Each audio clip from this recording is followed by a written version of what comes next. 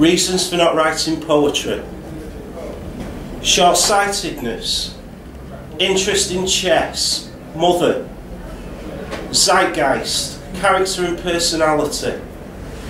Dramatic skills. Carlos. Affinity with Dickens. Repressed sexuality. Car accident. Second car accident. Smoking. Life in boarding houses. Oblomovism. Interest in cricket. Interest in cinema. Interest in Nietzsche. Nazism. Amorous interludes. Family ties. Shyness. Dislike of France and French dislike of Germany and Germans, appearance, holiday in Margate, golf, tasting clothes, health, electroconvulsive treatments, moralistic pose, Freud, death of several friends, misogyny, football, career problems, character changes, impossibility of domestic life, finances, holiday in Greece, cirrhosis of the liver. Okay, so this is a book of mine which came out several years ago. And I'm just going to read one more from it. Um, I was looking at it again recently and I like quite a lot of what's in it. Um, so I thought I'd read a couple tonight. That's the first one. This will be the second and last one. It's called Daniel Bruhl who's a young German actor who appeared in the films Goodbye Lenin and The Edu Edukators. We are no longer in love, and that absence is not like a leg or arm lost or something. It's like we never were in love. We meet though still quite frequently, being, when we do, either annoyed or casual toward one another my friend Stuart can't understand why we continue to go out if we are no longer in love, and neither can I, unless we still are in love, just unable to admit it now for, I don't know, maybe world economic reasons. so this is a new pamphlet from um, a press called Erbacce in Liverpool. I'll read several from this.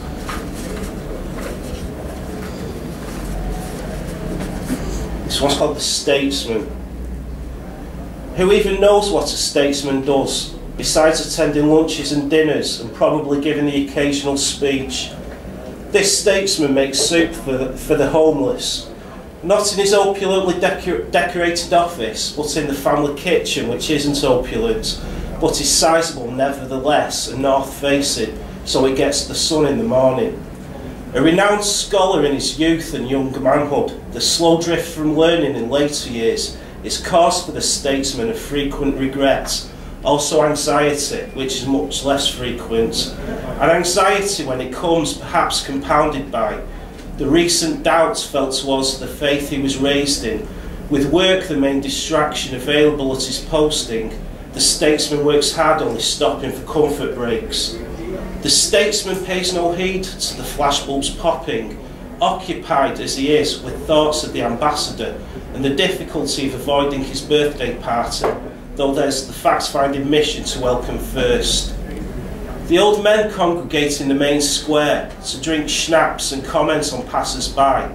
Sometimes the statesman joins them incognito and pretends to be an artisan visiting relatives up from the country. The curtains are drawn early here, the day seen off at the earliest opportunity. Night time is a time of companionable solitude, but no games of Scrabble now. At night, the bus window is like a mirror for the bold men to remember the time before boldness. Do you remember that time, Richard? Yes, there was much laughter and we sang often. Two people can be married, the statesman knows, to two different people other than each other or those four people in total could each be single, maybe looking for someone or happy alone. Longing to the nights the statesman labours to make what's on the page match his feelings. At 22 it would have caused him no trouble. Maybe 45 is too old for love notes. By his desk outside the statesman's office, the secretary thinks he sounds happy today before entering the corridor where the laughter becomes fainter. On page 76, a line asks what faith would mean without understanding, startling the statesman. Due to that and associated questions having recently been preoccupying him very much, yet not to the extent of thinking to investigate what anyone else might have said on the matter. Maybe the book could be memorised. Maybe the book could be memorised in a translation the statesman doesn't understand. Both undoubtedly must be possible. Richard, you've come on in the world, son, mixing with important statesmen now, albeit once very secretive about what they do, and you with only one A and two Bs at GCSE. The statesman thinks about moving the desk, thinking he'd prefer to sit facing the window. He estimates the job would be done in 10 minutes, then revises that guess, thinking it'd take longer. Rumours spread amongst the staff of rebels planning to overthrow the government. The statesman overhears the rumours and hopes fervently that they are true. The stranger with the hands that seem almost too one to be beautiful but not quite, one day asks the statesman to kiss her, just as his secretary calls him away. 4.27am sees the statesman looking out from his balcony over the expanse of his grounds. Why did I choose this life, he wonders, with no one planning to assassinate him? Selected translations. 1. The front door key is lost, but there is a spare key in the shed behind the very high locked back garden gate. Much too high for a fat man to climb. Tomorrow there will be a spare key with the neighbour. 2. I need to get organised. I need to get organised. Organised. Do you not remember those tea towels from the 1980s? No. 3. Skinner times 10 until you receive a reply, until the neighbour bangs on the wall, until you remember work in the morning and so decide to go to bed, until you think of a more interesting way to pass the time, until the sky folds in like a sheet of paper becoming a swan or a little hat. 4. The fat man on holiday takes a photo of the monuments and relaxes on the beach and visits the home of the famous artist and has dinner in a fancy restaurant without leaving a tip. 5 for about 10 minutes this went on and it seemed like fun and he wished that he could join in. But by the time he thought of the contribution he was happy with, everyone had left to go and fly kites on the hill. 6. Cigarettes abandoned at 21 for a pipe then seemed like an unusual decision. In terms of economics though, less so. Seven, cryptic, quick and coffee time. There may be other types of crossword besides these. If there are, I don't know about them. First epilogue. Not as good as the second epilogue, most people said, though without being able to reach a consensus on precisely how not good it was or what let it down. Second epilogue. See above. Eight. Did we romp in the hot tub? Coyly, I'll never tell.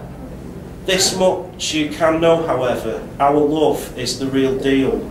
All my life I've been searching for someone like her slash him.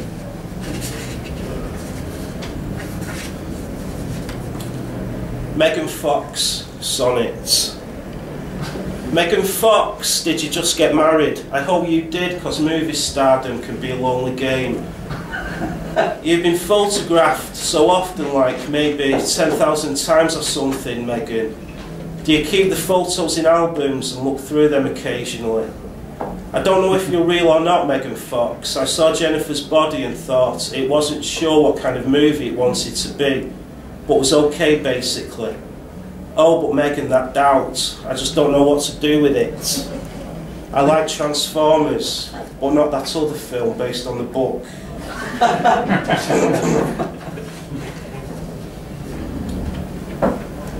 Why always me? One, Mario Balotelli. you wanted to see what a women's prison was like. So you drove into the grounds of one when you passed one with the gate left open. What was it like, Mario? And was your brother as curious, sat there with you in the high-powered Mercedes? Or was it all your idea, Mario? Would your brother have preferred to have just gone home? What did you expect to find, Mario, in the grounds of the women's prison in Brescia, in the region of Lombardy, in northern Italy? Eh, Mario? Calogero Lopresti said, we saw a high-powered Mercedes coupe come through the gates with two lads on board, and after a few minutes we realised Balotelli was one of them. They were questioned for 30 minutes to get their details, and by the end both were frightened. Balotelli said he was sorry.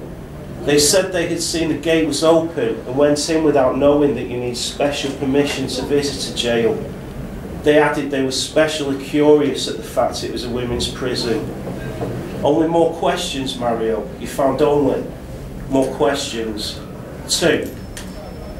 Almost a year later, with international teammates Gigi Buffon and the manager Cesare Prandelli, he visited another prison, the Sollicciano prison in Florence, to deliver to the inmates some inspirational words and to talk to them about your iPod. Why prisons, Mario? It's not women's prisons, it seems, rather it's prisons in general that fascinate you, Mario. Why? Three. On the football field, you are a king. On the football field, you wheel and loop like a swallow. The football field is no prison. The opposing team no fit jailer for you, Mario. One overhead kick could open any lock.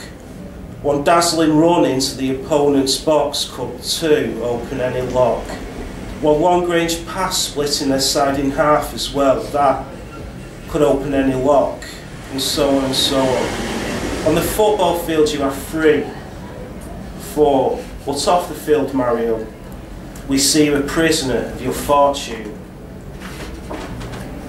Dear Mario, I hope this letter finds you well. I'm quite well.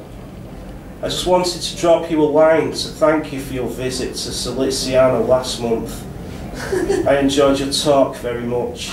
I'm a big fan of yours, Mario. I find you an inspiration. I like the way you seem never to let things get you down for long and how you always bounce back from the disappointments life will sometimes throw at us. My life has contained many such disappointments recently, Mario. When you visited, I thought it was extremely interesting to hear you talk about your iPod. I was very glad that, that, that when waiting to take the pitch against Spain last month, you were not, as the press has said, just listening to a selection of your favourite songs, but were actually, in fact, checking the results of the other matches taking place that night. I have long wondered which albums are on your iPod, Mario. I like the English bands. You will understand that my current situation makes it difficult for me to keep on trend as far as music goes. However, I do what I can. That I currently find myself resident here, Mario, seems like someone's idea of a very bad joke to me. I assure you, I'm a person of respectability and high social status. I have worked hard all my life and never done anyone any harm. When I get out of here, you must please do me the honour of paying me and my beautiful family a visit at our hillside villa. Please ignore anything you may have read about my case in the newspapers, Mario. Journalists are lying shits. I had no idea what my accountants were up to. How are you finding Manchester, Mario? I am following your progress with Manchester City very interestedly. I think Mancini is a good man. I've never been to Manchester, but from what I read, I think it will not be the place for me. However, I hope Manchester is treating you well. Perhaps if I am ever in Manchester, we can meet up. That said, though, I don't know why I would ever be in Manchester. anyway, thanks once again for the visit. Please take care. It's the last Balotelli poem.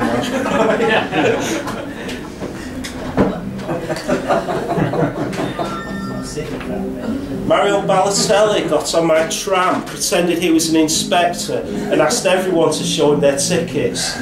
Mario Balotelli knocked on my grand's front door to deliver her her dinner from Meals on Wheels. Mario Balotelli paid my fine for me at Manchester's John Rylands University Library. Mario Balotelli in his Bentley drove after the bus that I missed and forced it to stop, allowing me to board. Mario Balotelli put in a good word for me with Diane and suggested she give me a chance. Mario Balotelli is responsible for an increase to growth and prosperity in the United Kingdom. Mario Balotelli followed me around for a day, commentating on everything that I did in song. Mario Balotelli bought a home tattooing kit from Argos and specialised in daggers dripping blood with the snake wraps round them. Mario Balotelli transferred over to me the points on his Waterstones loyalty card. Mario Balotelli explained to me the bit in the enigma of capital that I struggled to get my head around. Mario Balotelli guessed correctly which was the £250,000 box on Deal or No Deal, whilst I got it wrong. Mario Balotelli told everyone going into a screening of The Girl with the Dragon Tattoo how the film ends.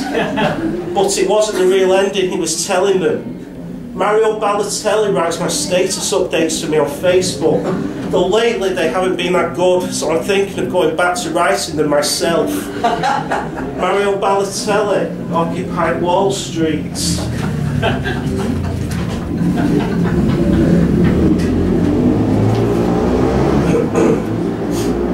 With seagull on head. Everyone is bored. Those who aren't bored even are bored. Be bored somewhere else, why don't you? Better that than being bored here. Seriously. Your boredom is infectious and it's bringing me down. Choose some other location, please, to be bored in. There must be at least five places you could be besides here.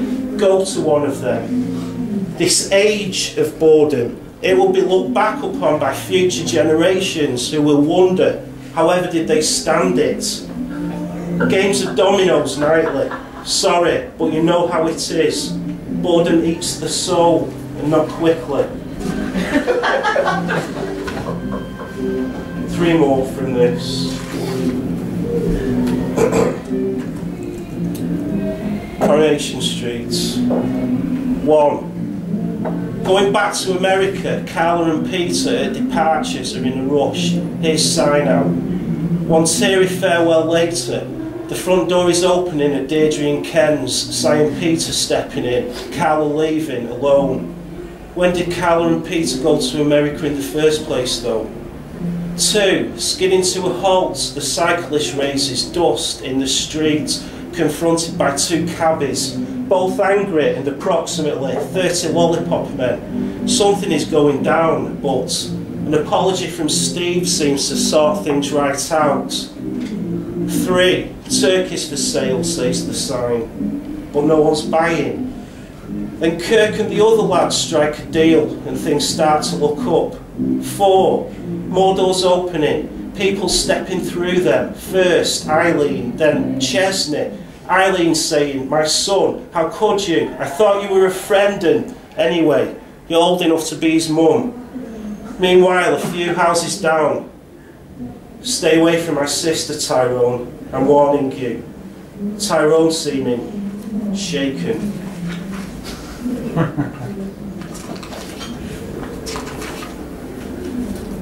okay, so let's do one more from this. Uh, manifesto number one, it's called steak, a quick drink.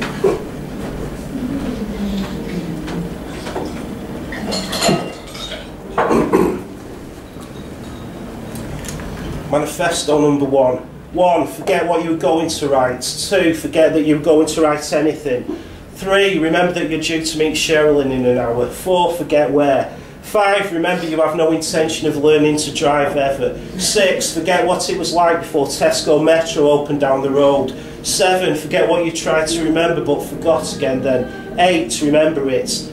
Nine, forget the trips to the theatre you made together. Ten, remember the theatre. Eleven, forget the thrill of united efforts. Twelve, remember the placard and the precise wording. Thirteen, forget that writing is not enough. 14, remember saying what you wanted and not fearing the consequences. 15, forget that God exists. 16, forget you forgot that, book. 17, remember freedom of religious observance. 18, remember entertainment and uphold it as the principle of principles. 19, remember your passports. 20, remember your euros. 21, forget the time delay, meaning writing and doing are different and always will be. 22, remember how pointless it felt reading poetry when your city was on fire. 23, remember the good feeling following the demo in support of local businesses. 24, forget politics. 25, remember entertainment. 26, forget your first degree, erase it from history, conspire with the others who rewrite history as the history they want. 27, remember the ambition of political poetry and political art. 28, forget entertainment. 29, forget turning history into a good night out. 30, remember how all things have their root economics. 31, remember what Sherilyn said about this that time. 32, remember reading Man at Leisure on the train home from Ely. 33, forget living poetically though. 34, remember it again a moment later. 35, forget those without the luxury of living poetically. 36, remember writing. 37, forget writing. 38, forget even how to write. 39, forget also why one should write.